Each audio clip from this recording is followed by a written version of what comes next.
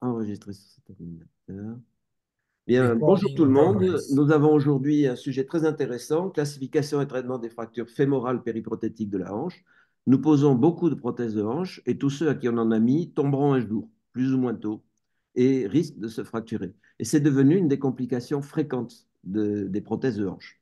Et pour cela, nous avons deux euh, orateurs intéressants. On a le professeur François Bonomé, qui est connu pour son expérience sur le sujet, mais aussi ses grandes qualités pédagogiques, et Paul Bostial, qui est un chirurgien qui a énormément d'expérience et pourra euh, lancer le débat. François, on t'écoute. Merci beaucoup, euh, Philippe, de m'avoir invité à, cette session et à cet enseignement. Je te remercie de m'avoir confié ce chapitre sur les fractures fémorales périprothétiques de la hanche. Et je propose que euh, on commence ce cours euh, euh, en parlant de classification et on parlera ensuite de la prise en charge et du traitement. Alors, c'est une fracture qui est rare. On avait fait un travail dans le service recensant sur 18 mois les 2284 admissions qu'on avait eues dans le cadre la, des entrées par les urgences et ça représentait 81 euh, patients. Euh, donc ça correspond à, un pourcentage quand même assez, minime en traumatologie, mais non négligeable quand même. Ces fractures sont favorisées bien sûr par l'ostéoporose et par la nécessité de chirurgie de reprise itérative euh, liée à des décèlements. C'est une fracture qui est grave puisqu'elle expose à un risque de surmortalité, de surmorbidité, avec euh, dans certaines séries 50% de nécessité de réintervention euh, sur ces fractures périprothétiques. Et c'est surtout des fractures qui sont graves parce qu'elles touchent des patients qui initialement sont déjà fragiles. Pour une bonne prise en charge, il faut absolument savoir classer ces fractures et bien les classer. Et pour cela, ça nécessite, c'est peut-être euh, on a l'impression d'enfoncer une porte ouverte, mais enfin, ça nécessite quand même un bon bilan euh, radiologique de face et de profil de la hanche, mais aussi du fémur en entier, et surtout le recours au scanner au moindre doute pour essayer d'appréhender le mieux possible le maintien ou non de la fixation de la prothèse euh, une fois la fracture euh, qui s'est produite. La classification est nécessaire parce qu'elle va nous permettre de comprendre la fracture, d'en tirer un intérêt pronostique et surtout un intérêt thérapeutique.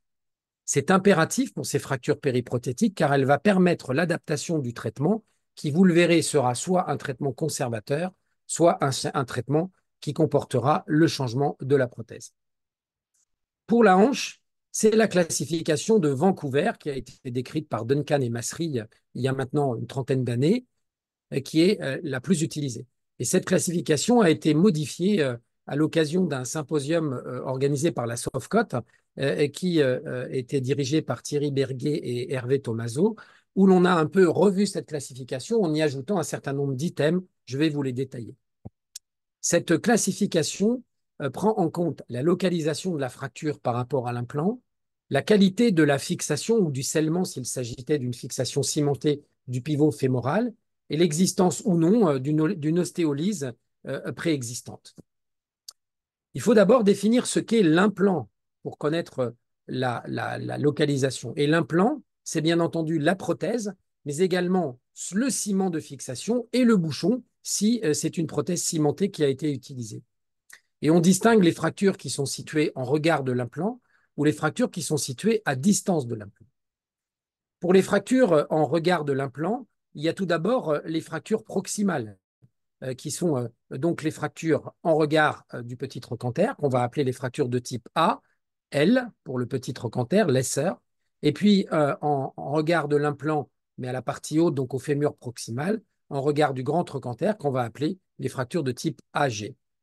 Ensuite, il y a les fractures qui sont situées autour de la portion la plus importante de l'implant, autour de la partie diaphysaire de l'implant, qui sont les fractures de type B. Et puis, il y a les fractures qui sont situées à distance de l'implant, par définition 1 cm sous l'implant, et je répète que l'implant comporte la partie métallique de l'implant, mais également le ciment et le bouchon, s'il s'agit d'une prothèse cimentée. Ensuite, cette classification s'intéresse à la qualité de la fixation et du scellement pour les fractures de type B. Et on va distinguer les fractures qui permettront à l'implant de conserver une bonne fixation dans l'os, pas de défaut de fixation, ou bien au contraire une fracture qui aura participé à un défaut de fixation de l'implant, voire qui surviendra sur un, un, os qui euh, sera le siège d'une ostéolyse préalable. On distingue ainsi euh, des fractures de type 1 pour les classifications B, donc B1, où la fixation reste correcte malgré la survenue de la fracture en regard de l'implant, une fracture où il y a déjà un défaut de fixation avec une amorce de décèlement de l'implant, euh, on appellera ça donc une fracture de type 2, et puis une fracture avec bien évidemment un défaut de fixation de l'implant, mais vous le voyez sur ce schéma, déjà une ostéolyse préalable qui favorise le décèlement ou qui avait favorisé un décèlement préalable à la fracture et qui, bien sûr, a sans doute, du fait de la fragilité osseuse liée à l'ostéolyse, favorisé la survenue de cette fracture. Voilà une fracture euh, de type euh, B3 tout à fait caractéristique avec en plus un décèlement euh, de l'implant acétabulaire, on y reviendra. Alors la classification de la Softcode, c'est basé sur cette classification de Vancouver, mais elle a, prévu l'indice de fixation pour chaque localisation et pas uniquement pour les fractures de type B. On va retrouver ça donc pour les fractures du grand et du petit trochanter, avec ou sans décèlement et avec ou sans ostéolyse préalable et puis les fractures à distance de, euh, de l'implant euh, avec des, classifications C1, C2, C3, exactement à l'identique des fractures de type B. Deuxièmement, pour les fractures de type B, elle va ajouter un indice de fixation restante pour les fractures de type B1, c'est-à-dire celles où il n'y a pas apparemment de décèlement euh, de l'implant, mais où on est quand même intéressé par savoir quelle est la part de l'implant qui reste très correctement fixée euh, au niveau euh, du fémur proximal. On va y revenir. Donc, on reprend notre classification de type A avec les fractures de type AG 1, 2 ou 3, selon qu'il existe une fixation prothétique intacte, un décèlement prothétique ou un décèlement avec ostéolyse. Les fractures de type B, bien entendu, on les a déjà vues et c'est les fractures euh, de, la classification de Vancouver. Et puis les fractures de type C, vous le voyez, on pouvait avoir un décèlement prothétique préalable ou un décèlement prothétique préalable avec ostéolyse et la survenue d'une fracture sous l'implant. Ça change un peu la donne, bien entendu, pour la prise en charge. Pour ce qui concerne l'indice de fixation restante, qui a été défini euh, lors de la modification de la classification de Vancouver par la Softcot, elle a été définie comme l'indice de fixation restante qui correspond au rapport de A sur B. Alors, qu'est-ce que A? A, c'est la partie euh, de l'implant qui est encore euh, fixé dans le fémur proximal, et B, c'est la partie complète euh, de l'implant. Et si cet indice est supérieur aux deux tiers, on peut considérer que l'implant reste encore stable. Vous voyez par exemple sur la photographie de gauche une prothèse qui est euh, restée parfaitement scellée sur plus de 90% de la surface osseuse au-dessus du foyer de fracture. Ici, on est à 60% avec quand même encore une fixation satisfaisante dans le fémur proximal. Et là, on se rend compte que si la face externe euh, du, fémur reste encore parfaitement adhérente à l'implant, on voit que la partie interne euh, a complètement été dissociée et donc on a un indice de fixation restante qu'on considère comme nul. Alors, les limites de cette classification, c'est que euh, on ne peut jamais être certain de la qualité de la fixation c'est souvent un faisceau d'arguments qui nous laisse imaginer que l'implant reste encore bien fixé dans l'os, mais on n'en a jamais la certitude. En gros, un B1 peut être éventuellement un B2 qui s'ignore. D'où l'intérêt euh, du scanner préopératoire en cas de doute, et puis d'une question qu'on peut se poser, est-ce qu'il faut tester systématiquement en pérop la fixation de la prothèse? Si on fait cela, eh c'est une contre-indication à l'ostéosynthèse mini-invasive. Donc autant essayer de déterminer la qualité de la fixation persistante malgré la fracture avant de, prendre une décision thérapeutique. Et puis, deuxième limite, ce sont les fractures entre les implants. Effectivement, euh, on voit survenir de plus en plus euh, de patients qui viennent avec une fracture périprothétique ou interprothétique entre une prothèse de genou et une prothèse de hanche. Et les fractures interprothétiques ne sont prises en compte ni par les classifications de la hanche, ni par les classifications du genou. Or, ce sont des fractures qui surviennent dans un contexte mécanique particulier parce qu'il y a une rigidification du fémur proximal et distal plus ou moins importante selon le type de prothèse en place et qui favorise éventuellement la survenue de cette fracture. Ce d'autant que parfois euh, les deux prothèses sont volumineuses et que le stock osseux est réduit, ce qui entraîne bien entendu des difficultés techniques dans la prise en charge chirurgicale. Donc, paraissait intéressant d'y ajouter une classification des fractures interprothétiques pour faire le lien entre les classifications hanches et les classifications genoux. Alors, la première fracture, c'est une double C, c'est-à-dire euh, une prothèse de hanche conventionnelle avec une prothèse de genou conventionnelle et une fracture qui reste à distance des deux implants. Ça, c'est assez facile à, classer. On l'appellera type C pour la hanche ou pour le genou selon le versant sur lequel on euh, se situe. C'est une classification qu'on avait euh, proposée euh, avec les Lillois il y a quelques années. Et puis, vous voyez que là aussi, c'est une fracture interprothétique. Là aussi, c'est une fracture qu'on pourrait qualifier de type C et encore de type C éventuellement un peu limite pour le fémur proximal. Et on l'avait appelé une type D, c'est-à-dire une double C qui survient sur une portion de fémur de l'implant euh, libre d'implant de tout, de tout implant, donc avec une longueur inférieure au tiers de la diaphyse fémorale. Vous voyez qu'entre la double C et la type D, il y a, effectivement euh, une prise en charge qui sera sans doute un peu plus complexe dans le deuxième exemple. Il y a quand même une classification qui a été euh, élaborée par Platzer qui se base sur la classification de Vancouver en tenant compte de la proximité des implants vis-à-vis -vis de la fracture et de leur stabilité. Vous avez euh, deux, parties à cette classification, type 1, type 2, type 3, type A, type B, type C. Le type 1, c'est pas de proximité avec les implants. Le type 2, c'est à proximité d'un des implants, la hanche ou le genou. Le type 3, c'est à proximité des deux implants. Avec, euh, dans l'acronyme A, euh, les implants, les deux implants restent parfaitement stables. On pourrait appeler ça les fractures de type C.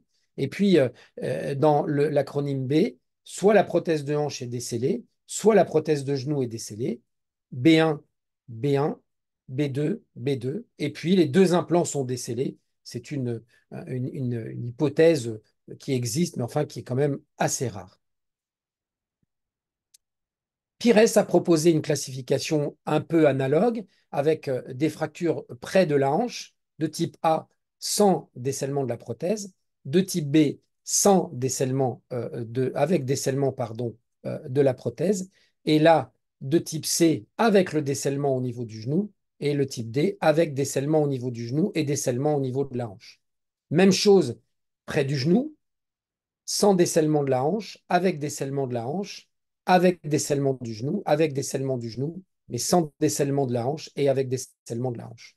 Et puis, bien entendu, un autre type où on a des prothèses beaucoup plus volumineuses, notamment lorsque l'on a des prothèses de genoux avec des quilles. Et vous voyez qu'on a euh, différentes fractures simples entre deux prothèses qui restent bien fixées, comminutives entre deux prothèses qui restent correctement fixées, et puis euh, simples entre deux implants dont la fixation est altérée, et comminutives avec deux implants euh, dont la fixation est altérée. Ce sont des classifications qui sont un petit peu plus difficiles à utiliser.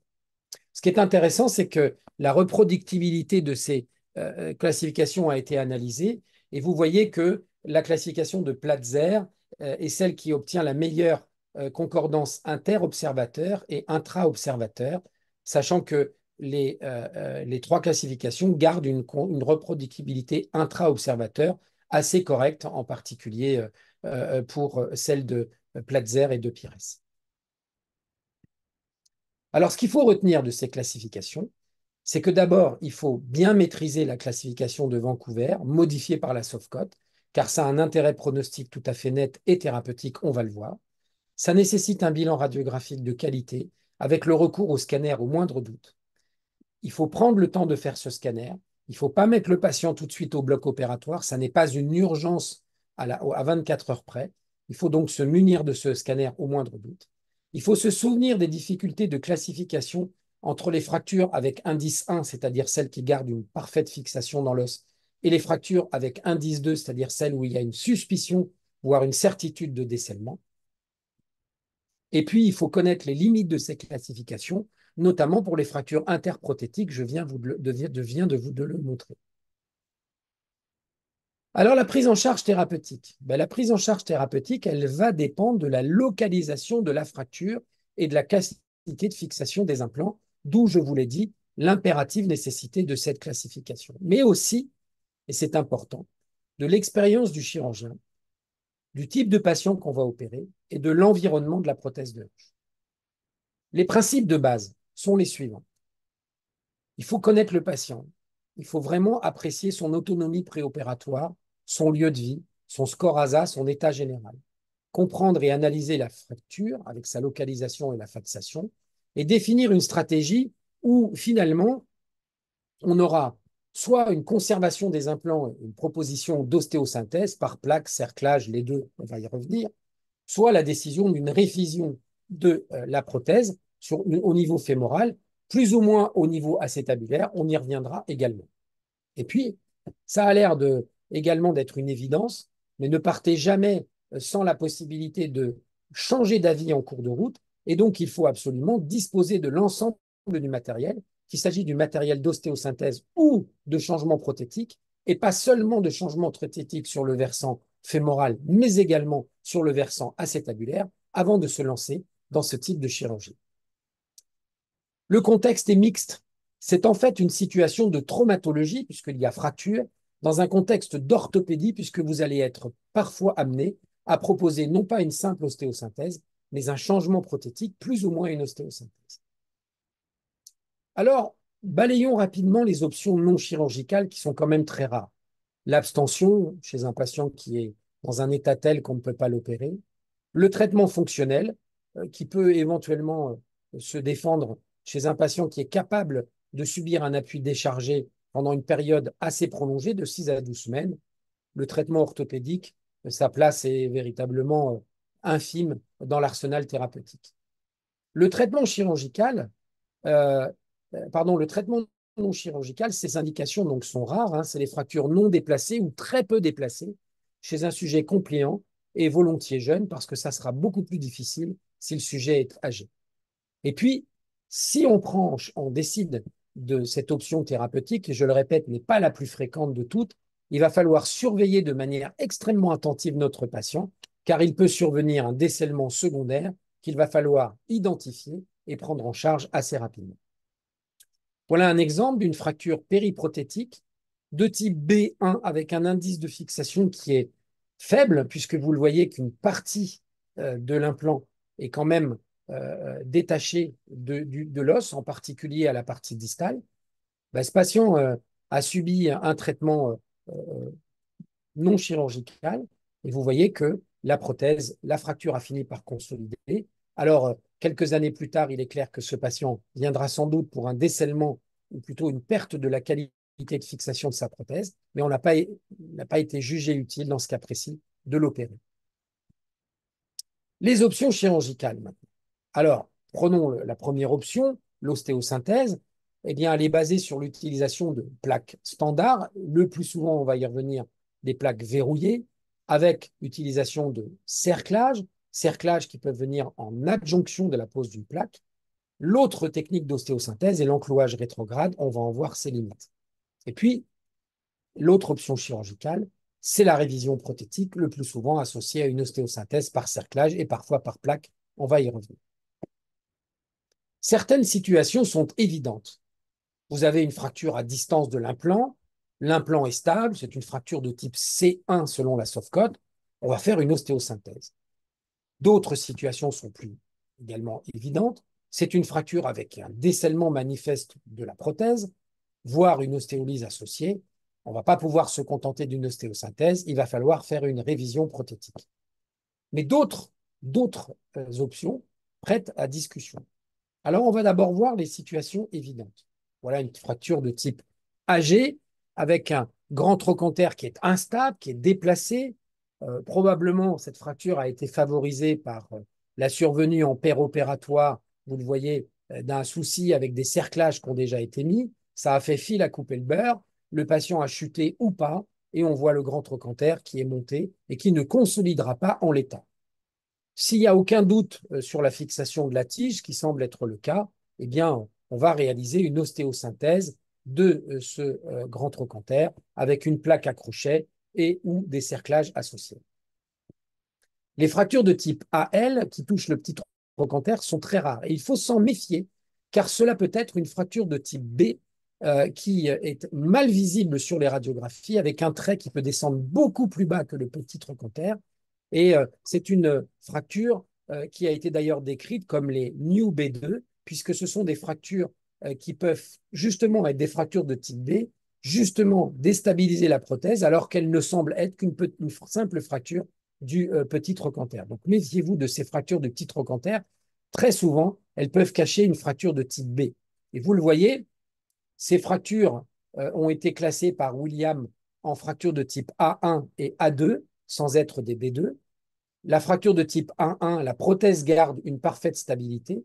Les fractures de type A2, la prothèse a perdu sa stabilité. C'est en fait une fracture de, de type New B2. Voilà pour les fractures de type A.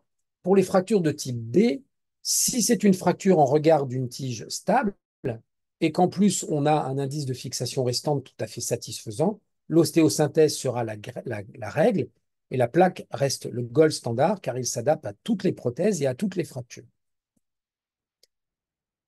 La plaque, effectivement, est universelle, qu'elle soit standard ou verrouillée, et qu'on utilise une technique conventionnelle, c'est-à-dire en ouvrant le foyer de fracture, ou qu'on se décide pour une technique mini-invasive, c'est-à-dire sans ouvrir le, le, foyer de fracture.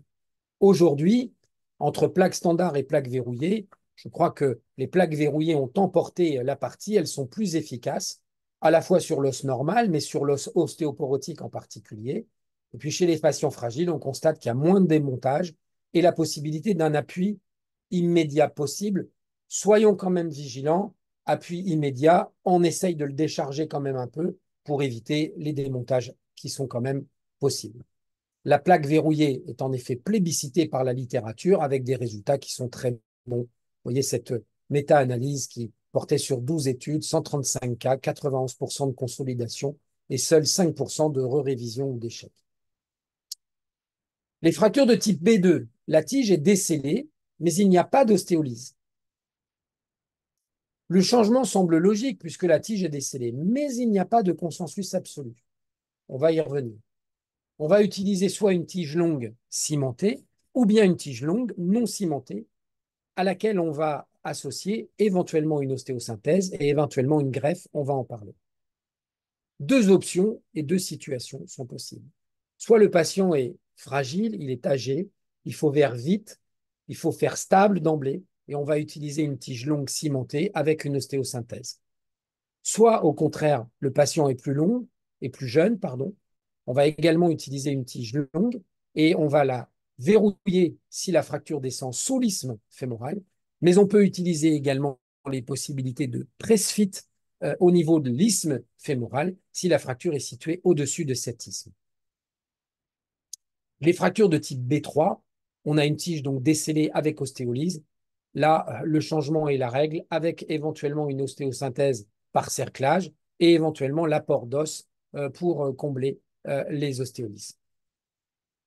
Les fractures de type C à distance de l'implant, là aussi, l'ostéosynthèse est la règle, même si l'implant est décellé, parce qu'on peut éventuellement, euh, euh, en particulier quand la fracture est très basse, parce que réaliser le changement d'une prothèse de hanche d'emblée, alors que la fracture est située beaucoup plus bas, c'est faire un geste qui est assez long, assez lourd, et donc on peut proposer dans un certain nombre de cas, une ostéosynthèse et un changement secondaire une fois la consolidation obtenue. Là aussi, les plaques euh, sont le gold standard. On préfère là aussi les plaques verrouillées et il faut bien sûr respecter les règles de pose sur lesquelles on reviendra. L'encourage rétrograde, en revanche, est à éviter car elle peut entraîner des zones de faiblesse entre le clou et la tige fémorale avec un risque de fracture itérative. Regardez ici cette fracture de type C1 sur une hanche encore correctement fixé, qui a été traité par un clou euh, centromédulaire rétrograde. Vous voyez qu'ici, il y a une proximité entre la tige fémorale et le clou. C'est ce que les anglo-saxons appellent le kissing implant. Euh, c'est un joli, terme, je trouve. Et il y a fort à parier, malheureusement, qu'à l'occasion d'une nouvelle chute, ce patient risque de se casser entre son clou euh, rétrograde et sa prothèse de hanche. Donc, dans ces cas-là, soit on a un clou qui est plus court, mais là c'était un peu difficile, soit on utilise plutôt euh, une plaque verrouillée. Les situations qui prêtent à discussion. Eh bien, d'abord, dans les fractures de type B1, quelles sont les situations qui peuvent amener à discuter? On peut discuter en fonction du patient. Là, vous le voyez ici, la tige est assez stable, le patient est jeune, euh, il y a quand même un indice de fixation restante qui est très faible. On peut se poser la question de changer ou non la prothèse. Et chez ce patient, la stratégie a été celle d'utiliser des cerclages étagés. Ce patient a pu euh, continuer euh, sa réhabilitation avec un appui très partiel au niveau du membre inférieur. Et puis, on a obtenu une consolidation du fémur qui était solide et continent. Et finalement, ce patient n'a eu à subir un changement prothétique que huit ans plus tard.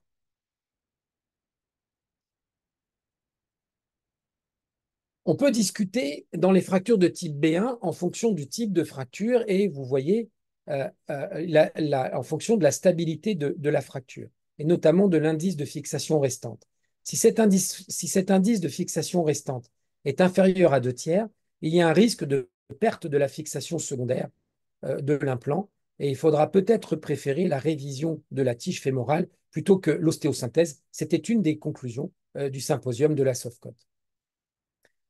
En fonction également du patient, dans les B2 en particulier, euh, si la tige, certes, est décellée, puisque c'est une fracture de type B2, mais si le patient est très fragile, avec un score ASA élevé, des antécédents médicaux marqués, une autonomie extrêmement réduite, un risque anesthésique important, on peut être amené à, proposer un, choix de traitement plus léger, avec une synthèse plutôt qu'un changement, synthèse qui pourra s'effectuer en décubitus dorsal plutôt qu'en décubitus latéral, tout ceci se fait en concertation avec les anesthésistes et bien sûr la famille, puisque on va faire une ostéosynthèse sur une prothèse qui est décellée. Donc il y aura peut-être à discuter ultérieurement un changement prothétique, mais cela n'est pas sûr. Autre question qu'on se pose, est-ce un B1 ou est-ce un B2 Effectivement, on en a parlé dans la classification. Le B1 est-il un vrai B1 ou un B2 qui s'ignore? C'est très important dans ces cas-là d'avoir recours à une imagerie euh, euh, tout à fait performante, et notamment le scanner, et puis de discuter le testing péropératoire, mais à ce moment-là, on est amené à faire une ostéosynthèse à foyer ouvert qui limite euh, les, qui, va bien entendu être moins performante sur le plan des possibilités de consolidation rapide, et, et, donc on est obligé de déshabiller le foyer de fracture au lieu de le laisser parfaitement périosté. L'indice de fixation restante, on le répète, donne une indication complémentaire. Et si on a un doute, eh bien, comme dans le cas ici, il vaut mieux préférer la révision que l'ostéosynthèse.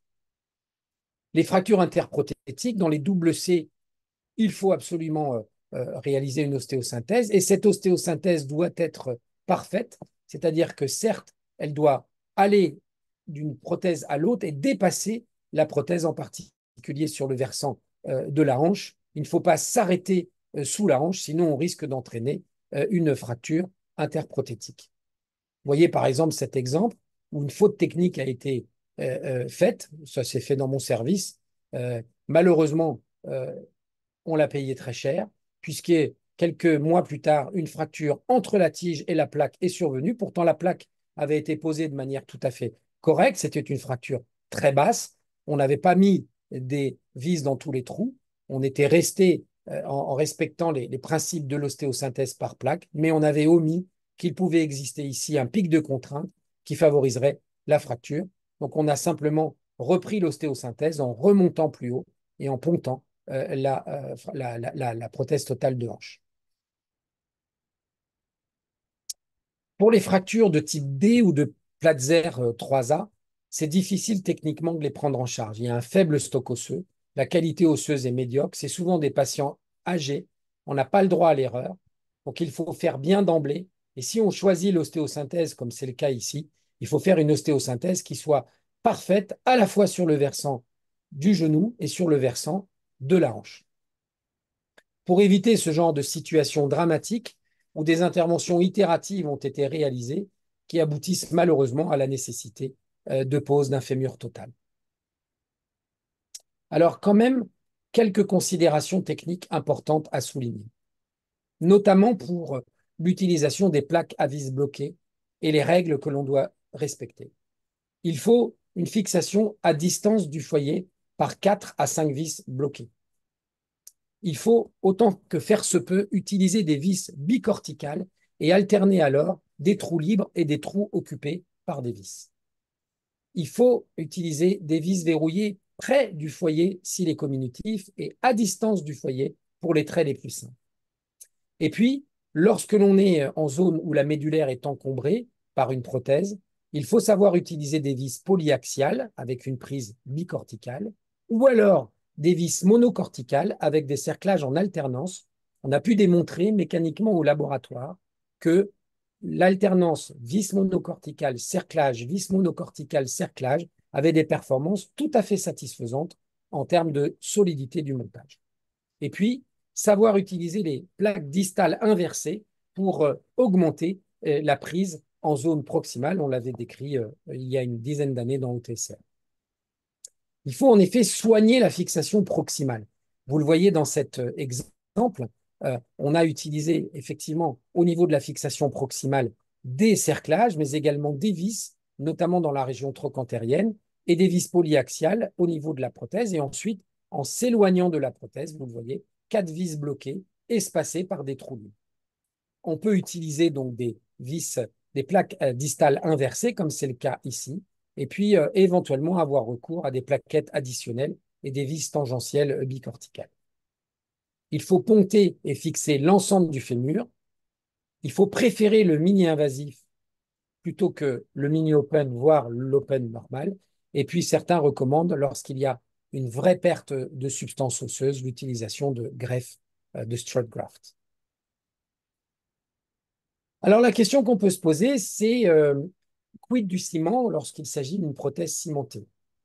Et est-ce que la fixation par plaque avec des vis va altérer euh, le ciment et donc altérer la fixation de la prothèse qu'on a considérée comme étant stable avant de réaliser l'ostéosynthèse? Il y a un certain nombre de travaux qui ont montré qu'il n'y avait pas de, facture, de, faillite pardon, ni de rupture du manteau de ciment euh, par le vissage. Ça, ce sont des études biomécaniques que je vous cite. Et que le vissage dans le ciment assure une tenue de qualité euh, qui est complémentaire à la tenue euh, dans l'os. Ça, c'était pour l'ostéosynthèse. Voyons maintenant quelques détails techniques pour la révision prothétique. Lorsqu'on utilisera une tige longue, il faut qu'elle dépasse la fracture d'au moins 4 cm. Si la fracture est située sous l'isthme, on va utiliser une tige verrouillée. Si elle est située au-dessus de l'isthme, on va utiliser, euh, une, on va utiliser. Pour ce qui concerne l'implant acétabulaire, le plus souvent, il est usé et on aura donc à faire un changement dans le même temps parce qu'il faut aussi euh, éviter l'instabilité euh, liée à un changement unipolaire avec les facteurs de risque qui sont l'âge, la fracture et la révision. Et alors, si on réalise ce changement, il faudra favoriser l'utilisation des cupules à double mobilité. Pour conclure, il faut répéter l'importance de bien comprendre la fracture et ses conséquences, et donc d'appréhender correctement, par une classification que je vous ai décrite, la situation pour euh, proposer un traitement adapté. C'est une prise en charge qui est techniquement difficile.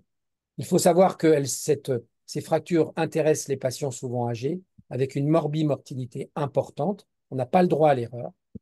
Si l'implant est stable ou la fracture est à distance, l'ostéosynthèse, par plaque, il faut éviter l'enclouage rétrograde, préférer les plaques verrouillées, soigner la fixation proximale et fixer l'ensemble du fémur.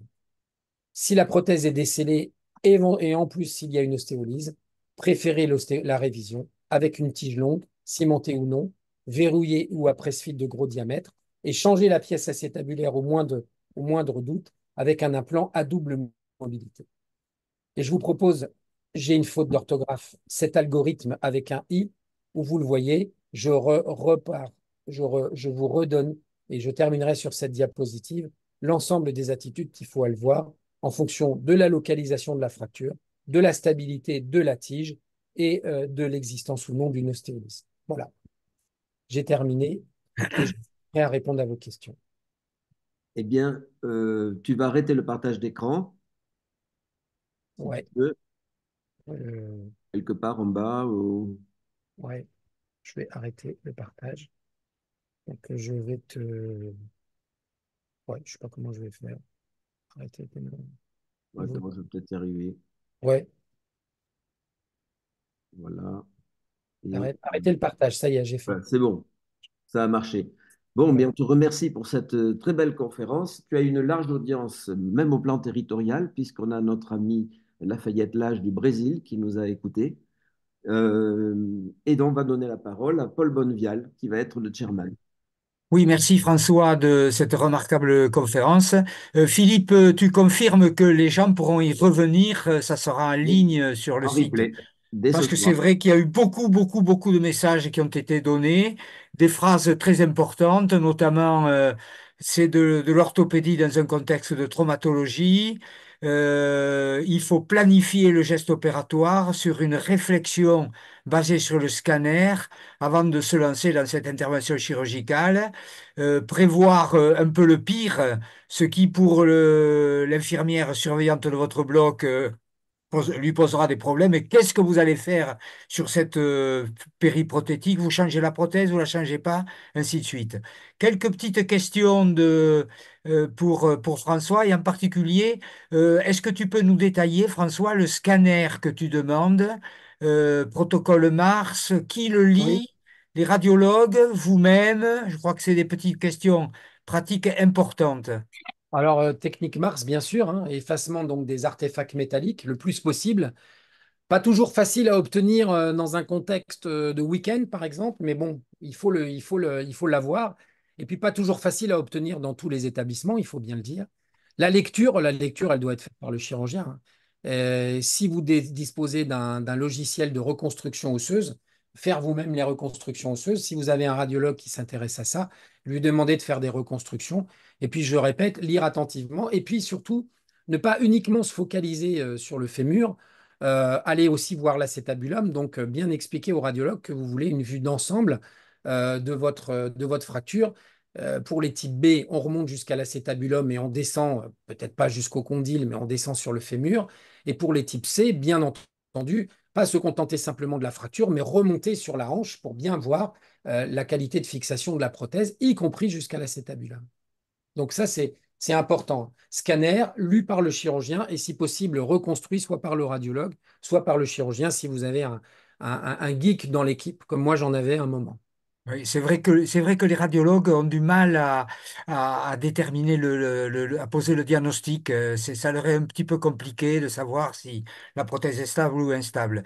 Euh, l'autre l'autre problème de, de l'imagerie médicale euh, pré-réflexion, pré-planification, c'est que toutes les classifications sont souvent données par un schéma sur une seule incidence, y compris d'ailleurs dans la classification de, de, de, Vancouver.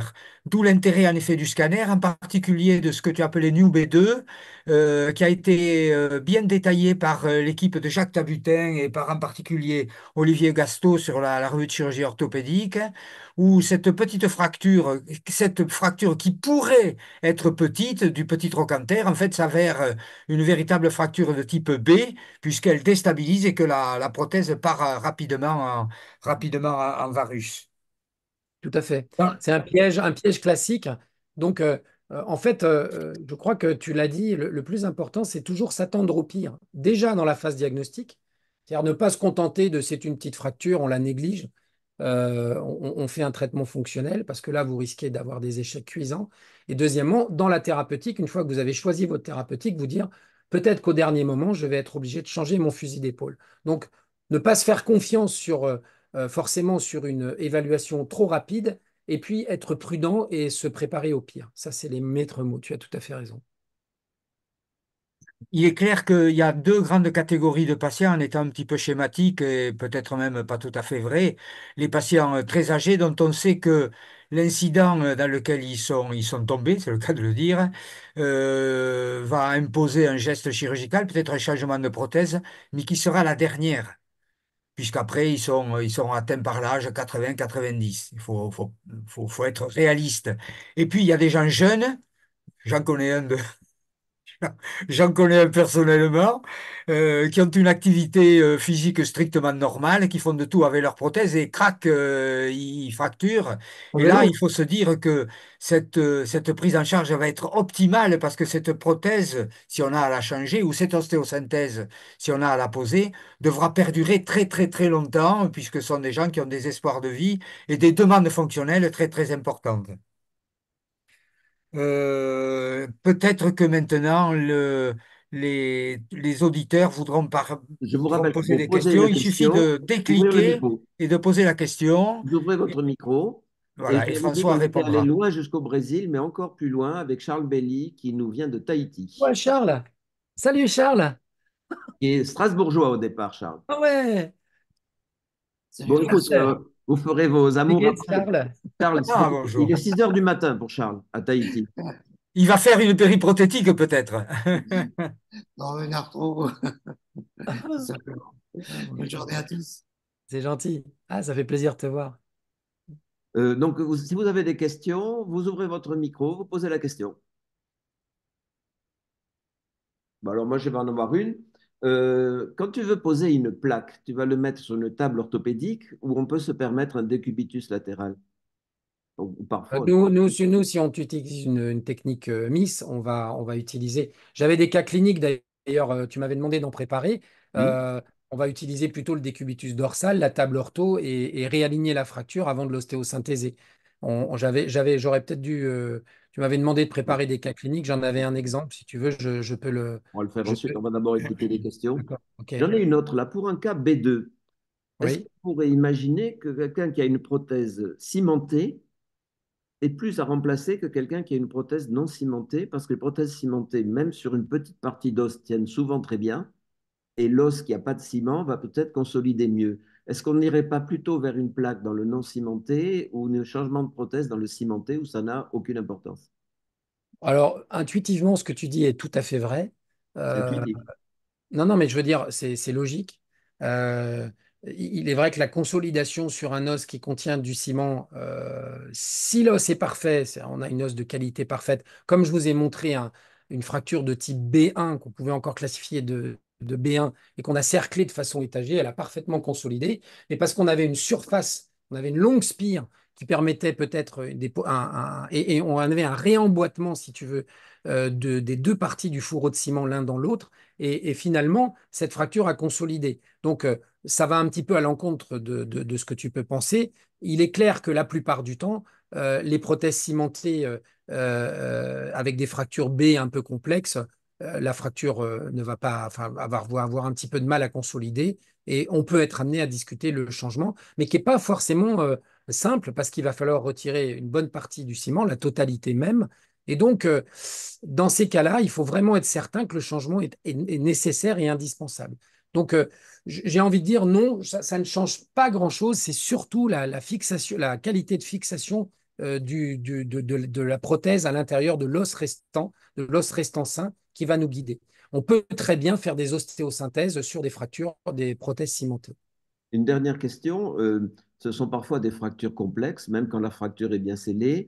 Euh, on, va les, on va ponter les contraintes en partie avec la plaque. Est-ce qu'il y a une indication de greffe osseuse? Euh, C'est très, très variable. Hein. bien sûr, il y a des indications à partir du moment où bah, déjà il y a une, une certaine fragilité osseuse locale Certains rajoutent, je te l'ai dit, euh, quand ils font des ostéosynthèses, euh, des struts euh, médiales qu'ils cerclent de l'autre côté donc de la plaque. Les Américains en sont assez friands, mais ils disposent effectivement d'allogreffes de manière importante. Donc ça, ça peut être un apport. On peut apporter effectivement de l'os spongieux si on veut aider à la consolidation d'un foyer qui paraît en particulier dans une fracture de type C un peu fragile. Euh, bon, mais euh, euh, l'apport osseux, c'est surtout, à mon sens, lorsqu'on fait une révision prothétique et qu'on veut apporter de l'os complémentaire à la fixation non cimentée. Allez, posez des questions, lancez-vous. Ouvrez votre micro. Timothée Mesnier, j'ai vu que tu étais là. Bonsoir. Ah, on vous écoute. Oui, bonsoir. D'où nous vous appelez-vous? Bamako. Bamako. De Bamako, ouais. Donc, euh, merci beaucoup pour la présentation. Très, très parfait. On a, on a revu beaucoup de choses. Maintenant, euh, j'ai deux questions. La première, dans tout ce qui est littérature, on parle très peu du cotyle. Oui. Euh, Est-ce qu'on a une explication pourquoi on n'en parle pas? Ah, des fractures périacétabulaires? Oui. Oui, vous avez raison. Ça fait l'objet d'une conférence d'enseignement euh, par un Toulousain. Enfin, je, je ne déflore pas son nom, mais euh, euh, par le prénom est Nicolas. Non, le prénom est Nicolas Nicolas. R. Il y en a deux. Il y en a deux des Ah Nicolas. oui, mais il y en a un, non. Il, Il le il fait plus petit. Donc, il y a une conférence d'enseignement que j'ai d'ailleurs euh, relue et, et critiquée un petit peu euh, sur les fractures, effectivement, acétabulaires. Le problème est un petit peu différent parce que euh, on parle beaucoup des fractures péropératoires là, hein, dans les fractures Oui. On parle des fractures péropératoires, des fractures péropératoires négligées qui évoluent vers le décèlement, et puis bien entendu euh, euh, des fractures de des, des- des décèlements avec disjonction, le type 4 de Paprosky. Vous avez raison. on en voit et on en voit de plus en plus à la suite de chutes des, des, des cotyles qui s'enfoncent d'un coup à l'intérieur euh, euh, du bassin. Euh, on n'en parle pas beaucoup, c'est vrai. Euh, Ce n'était pas le sujet du soir, c'est une autre chose. Mais si ça vous intéresse, je vous, je vous encourage à assister à la conférence d'enseignement de Nicolas Reyna euh, qui sera euh, délivrée à la Softcote en novembre prochain et qui fera l'objet, j'espère, d'une publication dans OTSR. C'est c'est le plus souvent d'ailleurs des, des fractures sur des implants métalliques Oui. euh, que- avec euh, la même classification qui peut être utilisée. On peut utiliser euh, un peu les, les- les lettres B1, B2, B3 euh, pour, pour les, les- classer, ces, ces fractures. C'est souvent des, des transversales. Alors, les, fractures, il y, a y des classifications qui ont été euh, publiées, celle de, de la vallée, Pascarella, de la vallée aussi, de la vallée aussi, entre oui, Europe, de Pascarella qui est un Italien. oui, il y a ça aussi, il y a celle-là aussi, oui, tout à fait, ouais, tout à fait. ouais. Ne te fais pas mal avec ce couteau, hein. Mais- Tu es quand même maladroit. Euh, et la deuxième question. mais- mais la deuxième question, ça c'est sur le plan pratique. Quand j'opère ces malades, souvent je suis un peu embêté. Euh, on doit remettre la, dans le cas par exemple d'une fracture périprothétique avec un décèlement de la tige fémorale. Donc on doit remplacer la tige, donc mettre une tige un peu plus longue. Euh, souvent, il faut d'abord stabiliser la fracture. Donc, euh, avec des davis, avec des choses, et mettre, est-ce que euh, il est bien? Parce que quand on met la, la plaque, on ne peut pas mettre encore sa tige. Donc, souvent, on est embêté en mettant la plaque, on ne peut pas mettre la tige. Donc, en mettant la tige, souvent, ça bouge beaucoup. Donc, est-ce que vous avez des trucs, astuces pour qu'on puisse euh, faire ça sans perdre trop de temps, quoi? Parce que souvent, tu mets, et surtout, c'est du cimenté que tu, si tu dois mettre une tige cimentée, par exemple, euh, la réduction que tu fais initialement, elle est parfaite. Mais en faisant le ciment, si ça bouge un peu après, on se retrouve avec euh, du ciment qui a pris et souvent on a une petite, on a une petite perte de réduction. Ça m'est arrivé deux, trois fois. Est-ce qu'il y a des trucs astuces pour que ça n'arrive pas à ça? Alors, euh, il y a deux solutions. On va, on va voir, euh, on va voir les choses. Soit on a une fracture simple, une spire, qu'on arrive à Mm. réduire, euh, euh, qu'on arrive à contenir avec euh, un davier, des cerclages temporaires qui peuvent être des cerclages temporaires définitifs, qui permettent de manipuler le fémur pour ensuite y introduire une prothèse dans le fût sans démonter ce qu'on a fait ou sans altérer euh, la, la tenue euh, de, de la, de, de l'ostéosynthèse. Et on va donc mettre en place une tige cimentée ou non, comme on le veut. Soit on a un fémur qui est devenu très fragile, une sorte de pétalisation du fémur avec plusieurs Voilà. qui effectivement va empêcher euh, une ostéosynthèse correcte avant de pouvoir mettre la prothèse. Et à ce moment-là, il faut le faire comme si, il faut la traiter comme, comme si on avait euh, une, une, une, une, reprise prothétique euh, avec un volet, voire un volet à la Charles Picot, euh, qui était euh, un adepte d'un volet euh, multi, euh, multifragmentaire. Et donc, euh, on réalise une fixation en partie distale de la prothèse. Alors, le plus souvent, on est amené à utiliser une tige verrouillée. On fixe la prothèse correctement en partie distale en tenant compte de la longueur, etc. Alors, ça, c'est fait partie des, des difficultés de, de réalisation de l'intervention. Et ensuite, on fait une ostéosynthèse autour de la partie proximale de la prothèse de ce qui nous reste d'os. J'ai appelé ça la phagotisation. Voilà, la phagotisation, la pétalisation du fémur. Voilà. Voilà. OK. Donc, une, une dernière question. Et on dit la meilleure chirurgie, c'est la chirurgie qu'on évite. Donc, dans le cadre de la prévention, euh, vu qu'il y a un certain nombre de papiers qui parlent de, de, la personne âgée, qu'il faudrait peut-être préférer le cimenté au non cimenté, parce que le, le, le, non cimenté serait beaucoup plus euh, pourvoyeur de fractures périprothétiques. Pour les fractures cervicales, c'est conseillé pour les fractures cervicales.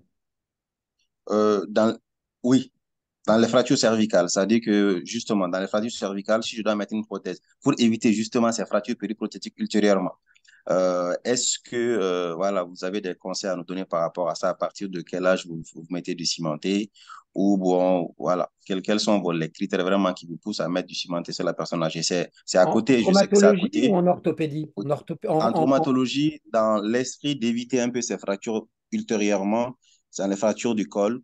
Voilà, si on doit faire une prothèse de hanche, voilà. Et comment, comment, quel, est-ce que c'est, c'est, c'est par rapport plutôt à l'âge, c'est par rapport plutôt au, à la tenue de l'os, voilà. Comment, comment vous faites par rapport alors, à ça?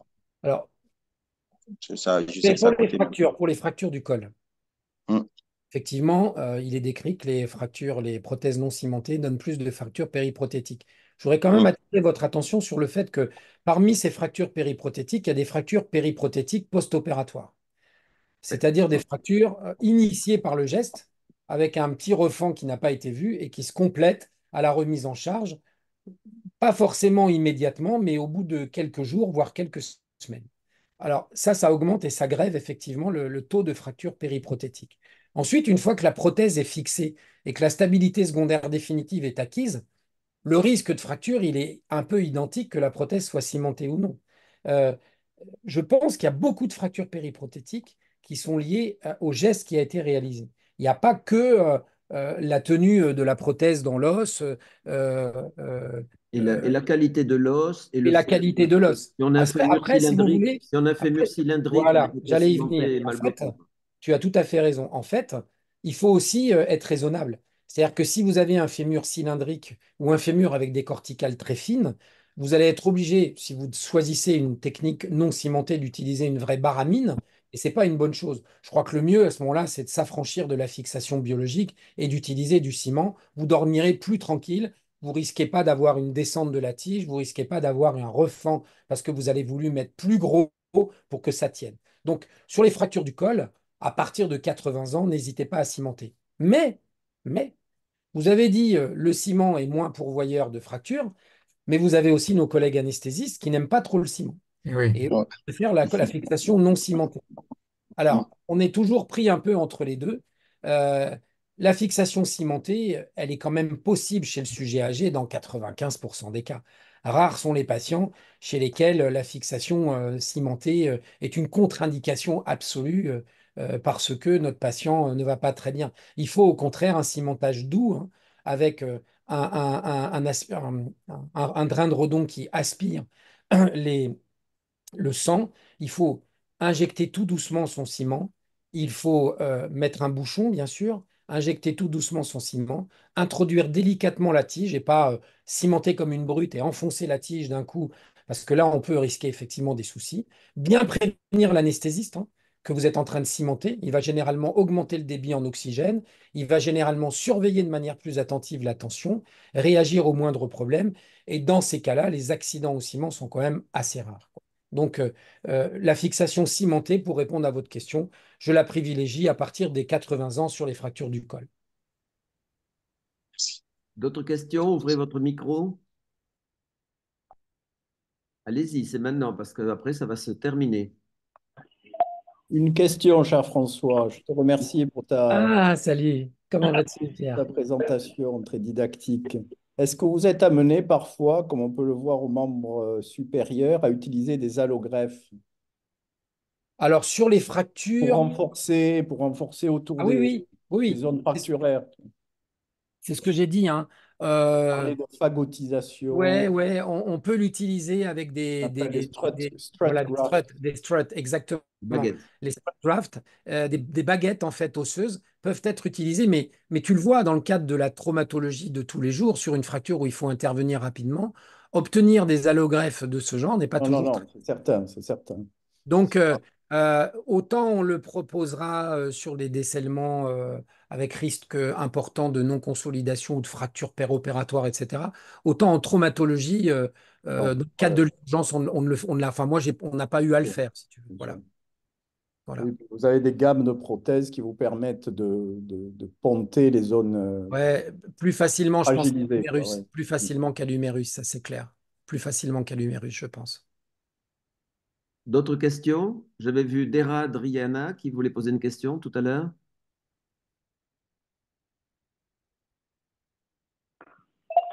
Euh, bonsoir. Euh, ma question, en fait, c'est en cas d'ostéosynthèse. Est-ce que ça vous arrive de euh, le faire avec un cerclage type d'Allemagne sur les câbles, les câbles métalliques ou est-ce que Ah oui, oui, vous avez vu. Bien sûr, je vous ai, je vous ai montré. Alors, on peut, euh, on peut mettre un cerclage avant de mettre les plaques. Pas toujours euh, métallurgie. Enfin, c'est pas toujours facile à, à, bien appliquer la plaque s'il y a déjà le cerclage. On peut utiliser le cerclage comme mode de fixation de la plaque sur l'os. Je vous l'ai montré avec des alternances euh, vis monocorticale, cerclage, vis monocorticale, cerclage. Euh, il faut effectivement parfois avoir recours au cerclage pour euh, augmenter la tenue de la plaque contre l'os. Moi, je vois un défaut au cerclage d'Alimaes, c'est que c'est du câble tressé. Tu as raison. Le câble tressé, ça peut scier l'os comme une scie de gigli. Et ensuite, ça peut s'intégrer dans l'os. Et c'est impossible à enlever en cas d'infection. Exactement. J'aurais préféré un double câble non tressé. Tu as tout à fait raison. Je, je, je, je suis parfaitement partisan de ça. Moi, je n'aime pas les dalmaïs. Euh, les, Lillois avaient aussi euh, euh, publié, mais pas pour les fractures, mais pour l'utilisation des dalmaïs, par exemple en révision prothétique, des migrations de petits filaments dans, les, dans les interfaces, et notamment au niveau du couple de frottement qui pouvait être délétère ça euh, commence souvent dans les gants du chirurgien en plus. Oui, c'est vrai. Plus le prix, parce que chaque câble est incroyable en prix. Je ne sais plus combien ça coûte, mais ça vaut un certain prix. Mais c'est vrai que bon, les, fabricants de, plaques sont très friands de ça, avec même parfois des trous qui permettent de mettre directement le dalmaïs pour le, pour ne pas citer certains fabricants. Donc, euh, moi, je préfère les cerclages de base, euh, cerclage Vitalium à œillet ou cerclage. Et puis, en plus, en plus, on peut les utiliser, ces cerclages en mini-invasif. Hein. il y a des, Ce qui est pas mal, c'est au lieu de le mettre en simple, c'est le mettre en double. Oui, c'est vrai. Comme on fait sur les mâts de, de windsurf ou de bateau. Ouais. Merci. Une autre question? Allez-y, lancez Bonsoir. Bonsoir. Bonsoir. C'est Maroun. Euh, je, vous, euh, je, voulais vous remercier, très belle conférence. Après, j'avais une question à propos des cerclages tout autour de la tige. Est-ce qu'il y a un nombre minimum si on n'a que des vis euh, unicorticales, c'est-à-dire qu'on n'arrive pas à passer la, la vis en, en, bicorticale, on a des unicorticales. Est-ce qu'il y a un nombre de cerclages à mettre tout autour de, de la tige précis ou pas? Alors nous, on avait fait un test au laboratoire qu'on a publié et qui montre que euh, une vis monocorticale encerclage, une, une vis monocorticale encerclage euh, équivalent à un montage par euh, des vis bicorticales. Donc, en, théorie, en théorie, deux vis bicorticales et deux cerclages, deux vis monocorticales pardon, et, deux cerclages devraient suffire. C'est le minimum. Hein. C'est-à-dire que si vous pouvez en mettre cinq, c'est-à-dire une autre bicorticale ou une autre monocorticale, pardon, ou une bicorticale en plus, il ne faut pas vous gêner. Quoi. D'accord, moi je parlais pour si vous avez la possibilité de monter euh, dans le massif trochantérien et pour mettre des vis. À ce moment-là, là, mm. vous êtes tranquille. Hein. D'accord? Mm. Ça aura une meilleure stabilité. OK. Exactement. Très bien. Merci. Je vous en prie. Une autre question? Bon, écoute, euh, on ne voit plus de questions possibles. On va encore te remercier une fois. Eh ben, non, je suis, je suis ravi, très ravi. Tout était euh, intéressant. Ta présentation, le débat. J'ai été ravi de répondre à ton invitation, Philippe. Euh, tu, réponds, tu, réponds, souvent à la mienne dans le cadre du cours de la hanche. Donc, je te remercie beaucoup d'avoir pensé à moi. Je suis ravi d'avoir euh, euh, pu voir mes amis toulousains et puis également Toulousain, Tahiti, tu, as, tu, as, fait le tour du monde là. Oui, c'est gentil, très gentil. Si tu peux faire connaître ces conférences autour de toi. Ben je, mes, mes, internes se connectent hein, de temps en temps. J'essaye de leur en parler, bien sûr.